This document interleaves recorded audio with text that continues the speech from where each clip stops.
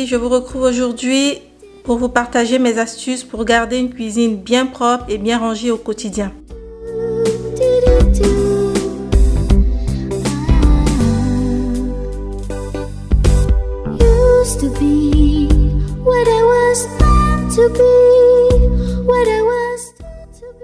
Je vous montrerai plein de recettes de produits ménagers faits avec des produits que vous pouvez facilement acquérir dans votre supermarché et refaire à la maison.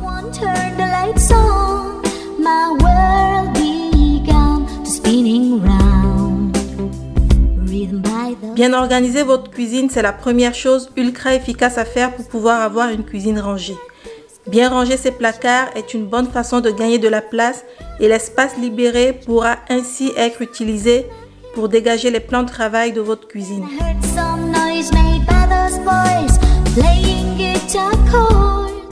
Vous pouvez par exemple ranger vos casseroles et vos poêles à proximité de votre plaque de cuisson.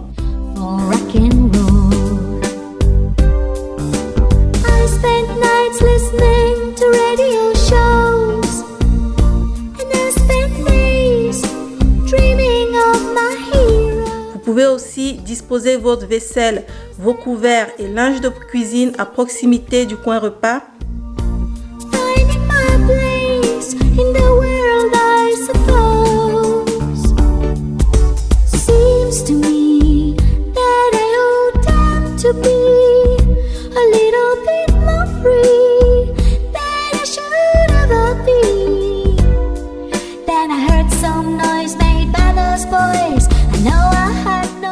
Pouvez enfin remplir les placards les plus difficilement accessibles avec les objets dont vous vous servez le moins au quotidien.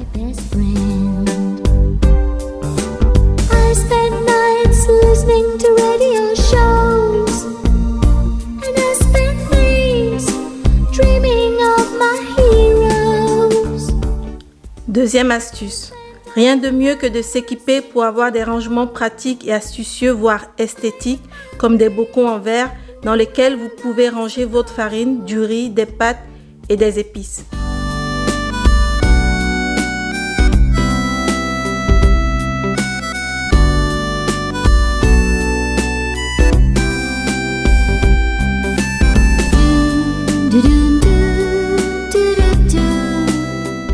En faisant cela, vous gagnez de la place en vous débarrassant de nombreux emballages et ça vous aidera aussi à mieux gérer vos stocks de nourriture. Le mieux, c'est encore de les dissimuler dans des placards pour éviter d'encombrer les plans de travail.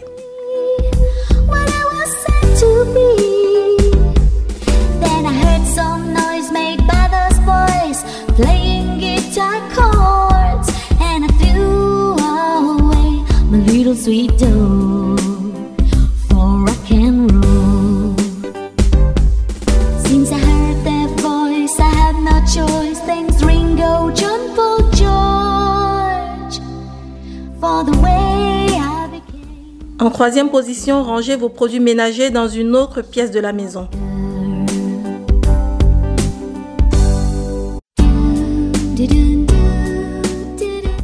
N'encombrez pas le meuble sous l'évier avec des produits ménagers. Rangez-les plutôt dans votre buanderie ou dans la salle de bain.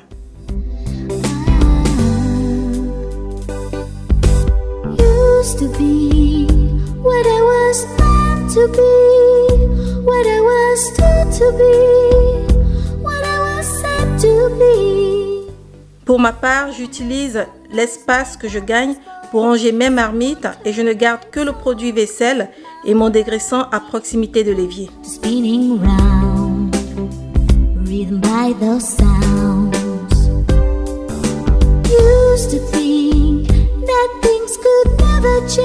Quatrièmement, ne laissez pas traîner trop d'électroménager sur le plan de travail. Bouilloire, grille-pain, cafetière, gaufrier, mixeur, nous sommes souvent envahis par le petit électroménager. Pensez donc à ranger les appareils que vous n'utilisez pas tous les jours dans les placards ou à la cave, si vous ne les utilisez que très rarement. Vous pouvez aussi profiter de cette occasion pour vous débarrasser des appareils qui ne fonctionnent plus. Un plan de travail net vous donnera davantage envie de cuisiner. Ça vous offrira plus d'espace pour vos mouvements et ça facilitera aussi le nettoyage.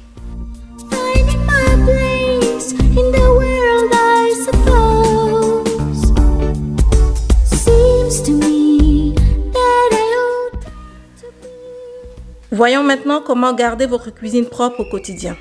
I should ever be. Then I heard some noise made by those boys. Pour commencer, vous devez nettoyer systématiquement après chaque utilisation.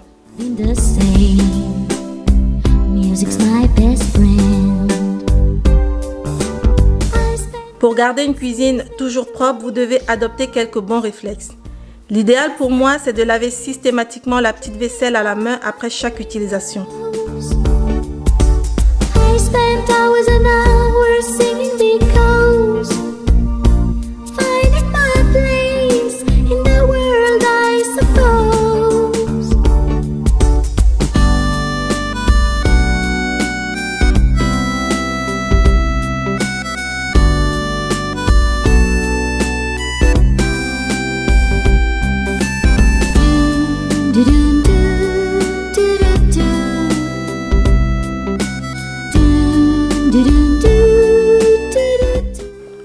aussi nettoyer votre lave-vaisselle s'il est trop sale ou alors le sécher simplement pour qu'il reste propre.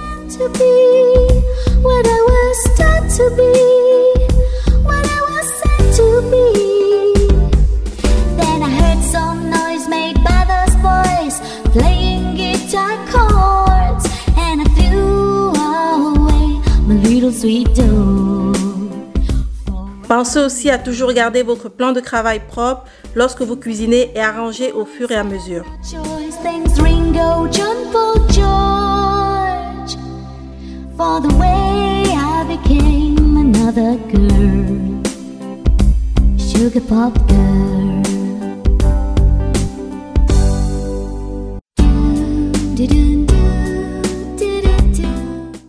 N'oubliez pas de rester jusqu'à la fin pour découvrir ma recette de citronade.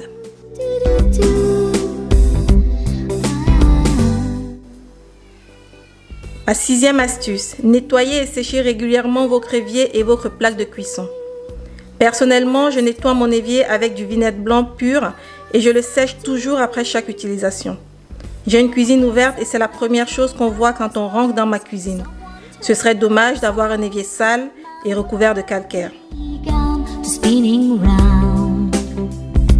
By sounds. Used to think that things could never change, everything out of range.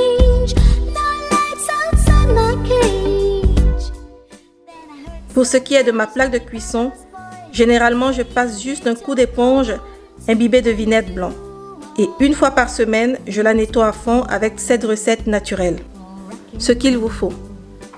Des cristaux de soude, du savon noir, de l'huile essentielle si ça vous dit, de l'eau, une éponge et un chiffon.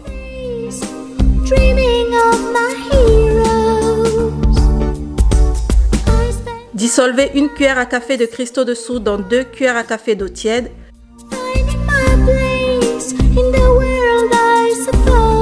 puis ajoutez deux cuillères à soupe de savon noir. Mélangez avant d'ajouter deux cuillères à soupe supplémentaires de savon noir.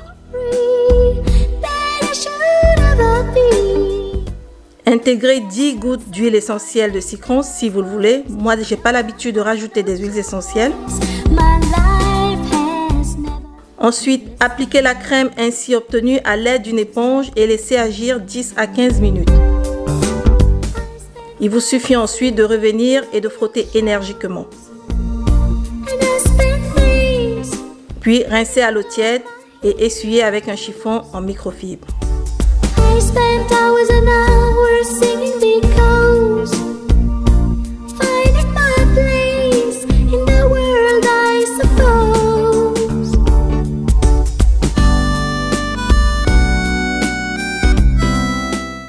En septième position, je n'oublie pas de nettoyer mon frigo et la poubelle. Une fois par mois, je fais le grand ménage dans mon frigo, mais chaque jour, je passe juste un petit coup d'éponge pour enlever les crasses de liquide qui ont coulé et pour en finir avec les mauvaises odeurs, je mets toujours un peu de bicarbonate dans un pot que je laisse toujours dans mon frigo. Le bicarbonate de soude est connu pour absorber les mauvaises odeurs et mon frigo reste ainsi sain et propre au quotidien.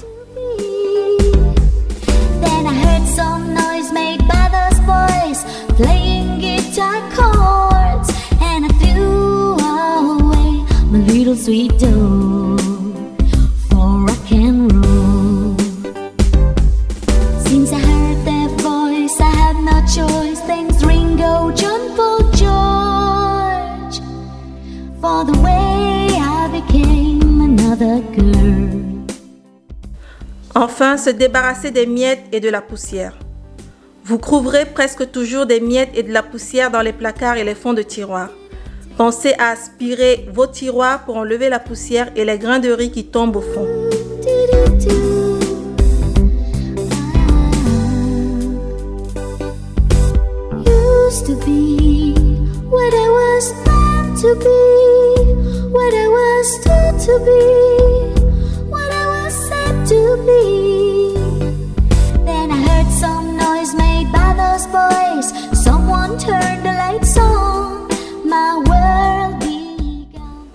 N'oubliez pas de nettoyer les portes de placard et les poignées de porte avec une éponge et du vinaigre blanc pour enlever la poussière et les crasses d'eau et de doigts qui s'y collent.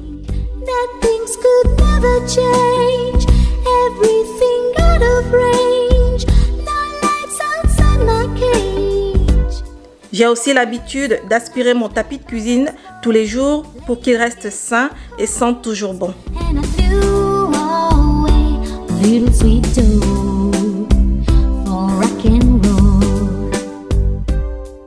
Je saupoudre simplement mon tapis de bicarbonate de soude et je laisse reposer une dizaine de minutes. Ensuite, je reviens pour aspirer à nouveau.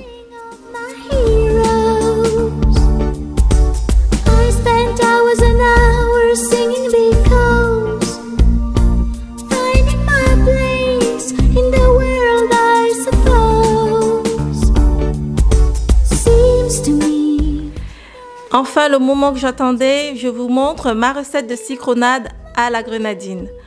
Pour ce faire, il vous faudra une orange sanguine, deux citrons, une grenadine et de l'eau et du sucre.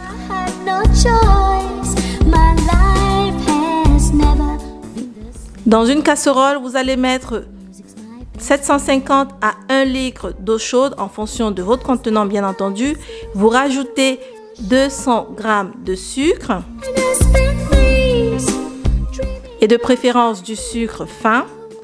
Vous remuez bien jusqu'à ce que le sucre se dissout totalement et entièrement dans l'eau. Une fois que ça c'est fait, il vous suffit de presser un citron et demi.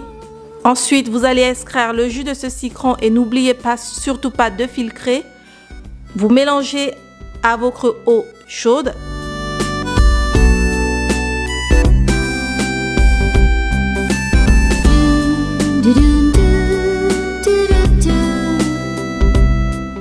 Puis vous allez prendre aussi la moitié de la grenadine que vous allez presser de même qu'on a fait avec le citron. Vous mélangez à votre eau chaude qui a déjà le citron.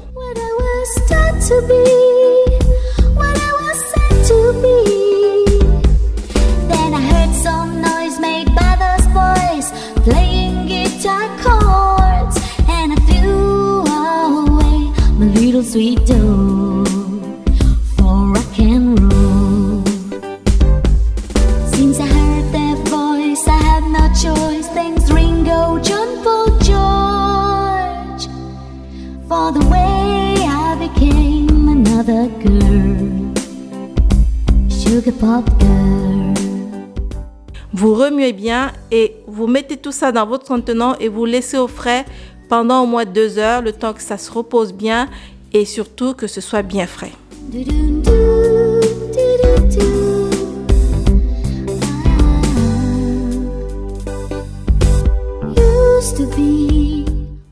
Voilà une recette de citronade à la grenadine qui est super pour le printemps et l'été.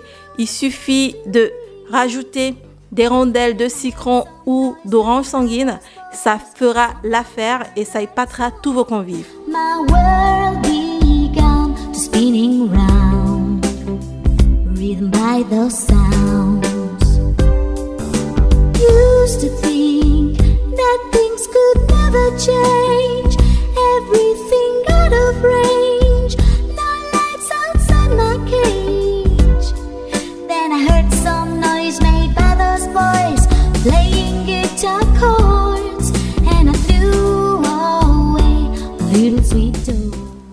Et voilà, c'était tout pour cette vidéo. J'espère que cette vidéo vous a apporté plein d'astuces, plein d'idées, de recettes, de produits ménagers et surtout de techniques et de méthodes pour garder votre cuisine toujours propre et bien rangée. N'hésitez pas à vous abonner en cliquant sur le petit pouce bleu, à activer les notifications pour ne pas manquer une seule vidéo. Je publie pour l'instant une seule fois le week-end, surtout le samedi à partir de 15h. Donc n'oubliez pas de vous abonner pour m'encourager et aussi aller sur le compte Instagram pour découvrir les photos liées à cette vidéo, les photos de ma cuisine. Je vous dis à très vite pour une prochaine vidéo. N'oubliez pas de commenter et ciao ciao Then I heard some noise made by those boys. I know I had no choice. My life has never been the same. Music's my best friend.